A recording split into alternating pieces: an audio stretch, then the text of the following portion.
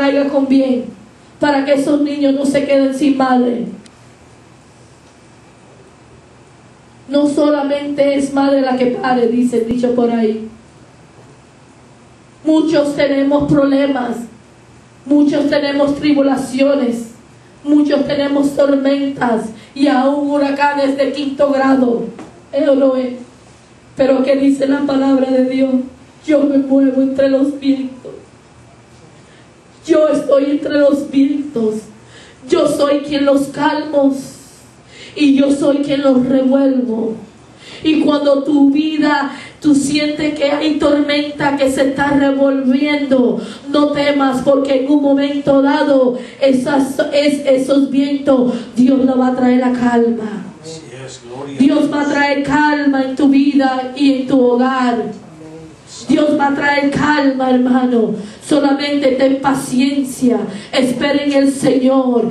El Señor dice, esperen en mí y yo haré. No te impaciente. Es a mi tiempo y no al tuyo. No es cuando tú digas. No es cuando tú digas, dice el Señor. Yo soy que hago las cosas y es a mi tiempo. Es al mío. Yo calmaré tus tormentas. Yo cesaré tus vientos. Porque yo soy un Dios de pacto y todavía cumplo mi promesa. Porque mi palabra es la misma de ayer, hoy y por todos los siglos. Yo no he cambiado. Yo sigo siendo el mismo. Yo voy a calmar tus tormentas. Yo te voy a ayudar en medio de tu dolor. Yo voy a darte de vestir. Yo voy a proteger tu techo. Yo voy a darte de comer. Porque si yo tengo cuidado de los lirios, cuanto más no voy a tener cuidado de vosotros, dice el Señor. Porque ustedes son tesoro especial para Dios porque a Él le costó sangre. Él no murió por los animales, Él murió por ti y por mí. Su sangre fue derramada por ti y por mí. Amén, alabado Dios. ¿Por qué temáis? Cuando duda venga a tu corazón, vete a la palabra. Cuando temas, vete a la palabra. Cuando tú crees que nada te va a resolver, vete a la palabra. Consulta a Dios. Habla con Dios. Y el mismo Espíritu Santo va a recordarte la palabra de Dios, hermano. Así hacía Dios conmigo ayer. Mira mi arco. Y me dijo, yo soy un Dios de pacto y cumplo mis promesas. Y ahí te pongo señal, me dijo el Señor. Y ese arco iris salía lindo, con unos colores bellos que solamente Él sabe dar. Y se formaba, hermano, qué lindo.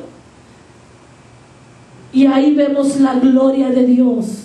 Y así nosotros vamos a ver la gloria de Dios en cada de nuestras vidas, en cada de nuestros problemas. Gracias, Señor. Bendito. Porque estamos pasando problemas. Uno así, otro asado. Pero estamos pasando problemas.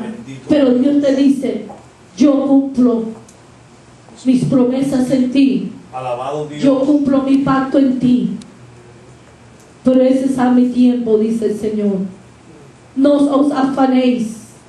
Yo sé que la cosa está mala, pero el Señor dice, no te afanéis. Yo me encargaré de poner comida en tu mesa todos los días. Yo me encargaré de darte el sustento todos los días. Tu espalda no se va a quedar sin abrigo, dice el Señor. Lindo, gloria a Dios. Yo soy el que proveo para mi pueblo. Porque el Espíritu Santo mora en ustedes. Amén, gloria a Y Dios. somos el pueblo de Dios. Somos la familia de Dios, hermano. Vamos a seguir leyendo. Santo, bendito Dios. Hechos capítulo 16. Hechos capítulo 16. Versículo 30 al 32. Aleluya. Y sacándolos les dijo, señores, ¿qué debo de ser para ser salvo? Ellos dijeron, creer en el Señor Jesucristo y serás salvo tú y tu casa. Y les hablaron la palabra del Señor a él y a todo lo que estaba en su casa. Esa es otra promesa que Dios le ha dado a su pueblo, creer en el Señor Jesucristo y serás salvo tú y tu casa. Esa es una promesa de Dios. Porque muchos sirven, muchas muchas familias, porque unos sirven a Dios y otros no le sirven, están apartados.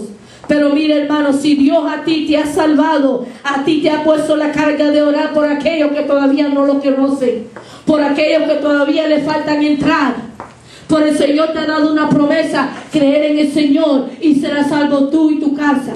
A que mi hijo es indiferente, la palabra de Dios dice, creer en el Señor y serás salvo tú y tu casa.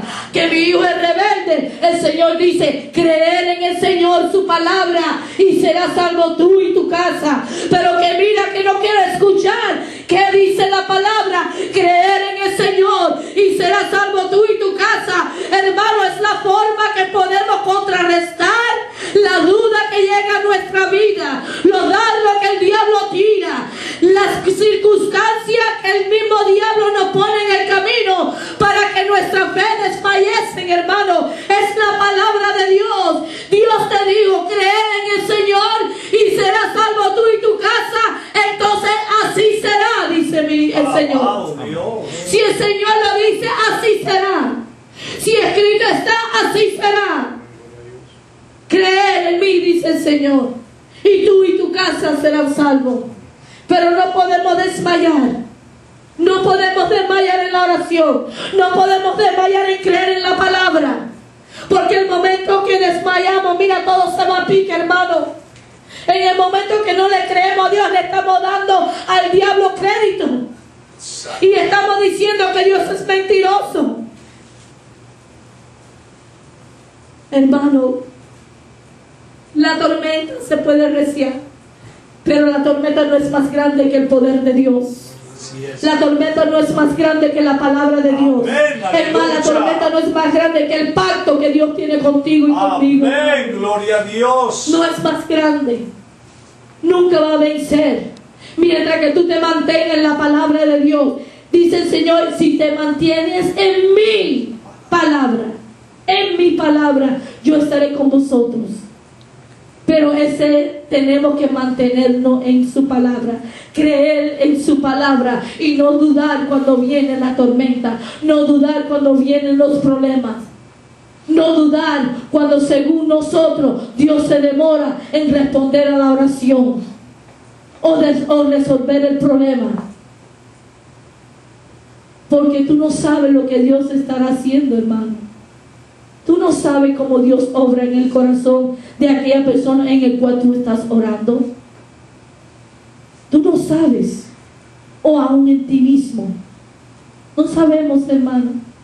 Pero cuando Dios trae su promesa cumplida así delante de nosotros, como así yo vi el arco iris de Dios, tú dices, qué lindo, qué perfecto Dios hace las cosas.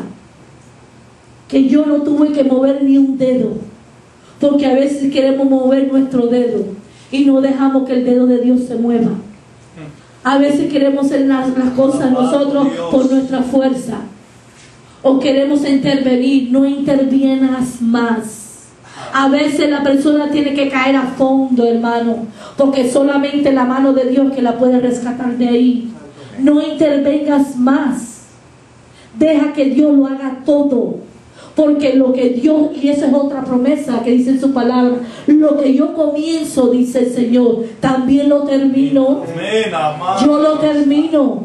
Yo he comenzado mi, mi, mi, mi, mi palabra y he comenzado mi obra en aquel que tú estás orando. Déjame que yo la termine entonces. Tenemos que creerle a Dios en su totalidad, no a medias, hermano. En su totalidad.